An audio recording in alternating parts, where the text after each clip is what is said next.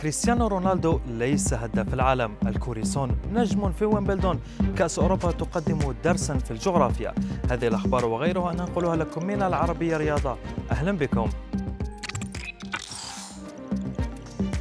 عشاق كرة القدم احتفوا بوصول كريستيانو رونالدو لرقم الإيراني علي دائي كأفضل هداف على مستوى المنتخبات ومن المنتظر أن يكسره في الفترة المقبلة.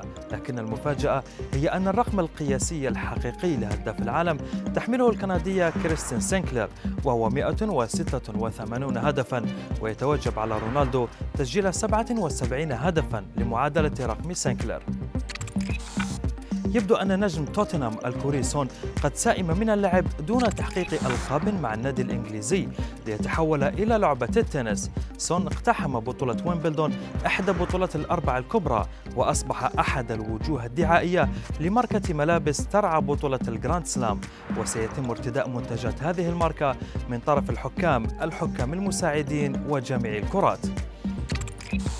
قبل مواجهة فرنسا والبرتغال انتقل الآلاف من المشجعين الفرنسيين لمؤازرة أبطال العالم لكن جهل ستة مشجعين بالجغرافيا جعلهم يسافرون إلى بوخارست عاصمة رومانيا بدلا من بودابست عاصمة المجر.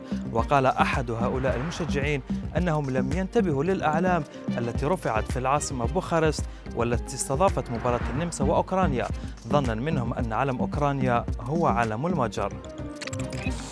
لكن أحد المشجعين الفرنسيين كسر كل القواعد وشجع المنتخب من الفضاء الخارجي. رائد الفضاء الفرنسي توماس باسكي نشر صورة له على تويتر وهو يتابع مباراة منتخب بلاده أمام البرتغال من محطة الفضاء. كما أضاف توماس بأنه حاول شرح قاعدة التسلل لزملائه الأمريكيين في المحطة لكن دون جدوى.